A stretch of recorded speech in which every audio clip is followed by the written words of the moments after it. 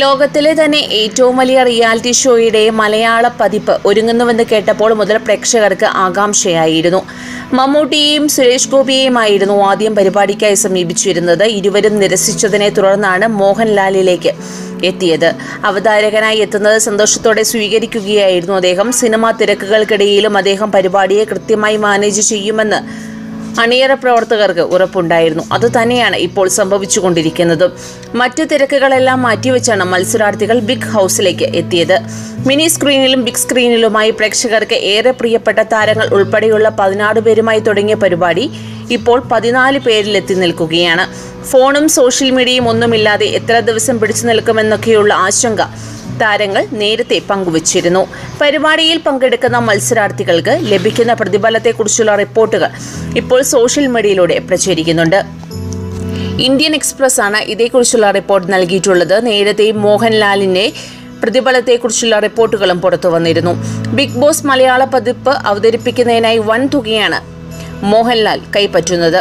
കോടികളാണ് അദ്ദേഹത്തിന് ലഭിക്കുന്നതെന്നുള്ള ചർച്ചകൾ നേരത്തെ അരങ്ങേറിയിരുന്നു. തമിഴ് തെലുങ്ക് ഹിന്ദി പതിപ്പുകൾ അവതരിപ്പിക്കുന്നവർക്കുൾപ്പെടെ പന്ത്രണ്ട് കോടിയോളം രൂപയാണ് പ്രതിഫലമായി നൽകിയിരുന്നത്. മോഹൻലാലിന്റെ ശമ്പളവും ഇതേ സ്കെയിലിലാണെന്നുള്ള റിപ്പോർട്ടുകൾ പുറത്തു വന്നിട്ടുണ്ട്. പത്ത് ദിവസം കൂടുമ്പോഴാണ് മത്സരാർത്ഥികൾക്ക് പ്രതിഫലം നൽകുന്നത്. പ്രതിഫലവും പ്രശസ്തിയും ലക്ഷ്യമാക്കിയാണ് പലരും ഈ പരിപാടിയിലേക്ക് എത്തിയത്. പരിപാടി തുടങ്ങിയപ്പോൾ മുതൽ മത്സരാർത്ഥികളുടെ പ്രതിഫലത്തെക്കുറിച്ചുള്ള ചർച്ചകളും അരങ്ങേറിയിരുന്നു. അടുത്ത വൃത്തങ്ങളെ ഉദ്ധരിച്ചുള്ള റിപ്പോർട്ടുകളും പ്രചരിക്കുന്നുണ്ട്. പ്രതിഫലത്തിന്റെ കാര്യത്തിൽ ഒന്നാം സ്ഥാനത്ത് ശ്വേതാ മേനോനാണെന്നാണ് ബിഗ് ബോസുമായി ബന്ധപ്പെട്ട് പ്രവർത്തിക്കുന്നവർ വ്യക്തമാക്കിയിട്ടുള്ളത്. ഏഴ് ലക്ഷം രൂപയാണ് താരത്തിന് പ്രതിഫലമായി ലഭിക്കുന്നതെന്നാണ് റിപ്പോർട്ടുകൾ പറയുന്നത്. ഒരു ലക്ഷം രൂപയാണ് ഒരു ദിവസത്തെ പ്രതിഫലം.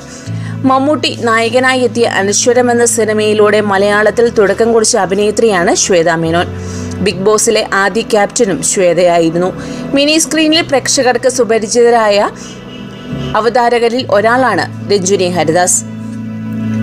സദസ്സിനെ കയ്യിലെടുക്കുന്ന കാര്യത്തിൽ അസാമാന്യ മിടുക്കുകൾ മിടുക്കുള്ള ഒരാളാണ് ഈ താരം. ഒരു ദിവസം എൺപതിനായിരം രൂപയോളമാണ് രഞ്ജിനിക്ക് ലഭിക്കുന്നതെന്നാണ് റിപ്പോർട്ടുകളിൽ പറയുന്നത്. സോഷ്യൽ മീഡിയയിലെ താരങ്ങളാണ് ഇവരും. മഴവിൽ മനോരമയിലെ വിവിധ റിയാലിറ്റി ഷോകളിലൂടെയാണ് പേളി മാണി പ്രേക്ഷക മനസ്സിൽ ഇടം നേടിയെടുത്തത്. അവതാരികയായി മാത്രമല്ല അഭിനേത്രിയായും ഗായികയായും താരമെത്തിയിരുന്നു. വ്യത്യസ്തമായ അവതരണ ശൈലിയുമായാണ് ഈ താരം മുന്നേറുന്നത്. ഒരു ദിവസം അൻപതിനായിരം രൂപയാണത്രേ ഈ താരത്തിന് ലഭിക്കുന്നത്. മിനി സ്ക്രീനിലെ മിന്നും താരങ്ങളിൽ ഒരാളായ അർച്ചന സുശീലനും ബിഗ് ബോസിൽ മത്സരിക്കുന്നുണ്ട്.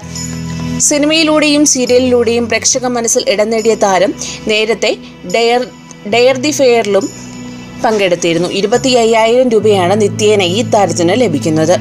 ക്ലാസ്മേറ്റ്സ് എന്ന ചിത്രം കണ്ടവരാരും പഴന്തുണിയെ മറന്നു കാണാനിടയില്ല. നിരവധി സിനിമകളിലൂടെ പ്രേക്ഷക ശ്രദ്ധ പിടിച്ചുപറ്റിയ താരത്തിന് ഒരാഴ്ച അഞ്ച് ലക്ഷം രൂപയോളമാണ് പ്രതിഫലമായി ലഭിക്കുന്നതെന്നും റിപ്പോർട്ടുകളുണ്ട്. ഹിമ ശങ്കറിന് ഇരുപത്തിരണ്ടായിരം രൂപയാണ് അത്രേ ഒരു ദിവസം ലഭിക്കുന്നത്. ദീപൻ മുരളി തരികട സാബു തുടങ്ങിയവർക്ക് ഇരുപതിനായിരത്തിൽ താഴെയാണ് നിത്യേന ലഭിക്കുന്നതെന്നും റിപ്പോർട്ടുകളുണ്ട്. കരിയറിലെ മറ്റു തിരക്കുകളെല്ലാം മാറ്റിവെച്ചാണ് അരിസ്റ്റോ സുരേഷും പരിപാടിക്ക് എത്തിയത്. കൂടുതൽ വാർത്തകൾക്കായി ഈ ചാനൽ സബ്സ്ക്രൈബ് ചെയ്യുക.